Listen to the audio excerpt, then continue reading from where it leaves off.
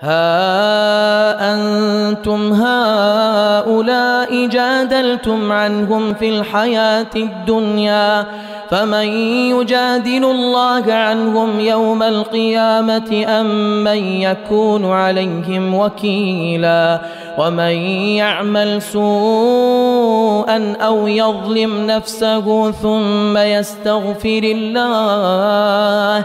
ثم يستغفر الله يجد الله غفورا رحيما. ومن يكسب إثما فإنما يكسبه على نفسه. وكان الله عليما حكيما ومن يكسب خطيئة أو إثما ثم يرم به بريئا فقد احتمل بهتانا وإثما مبينا ولولا فضل الله عليك ورحمته لهم طائفة منهم لهم طائفة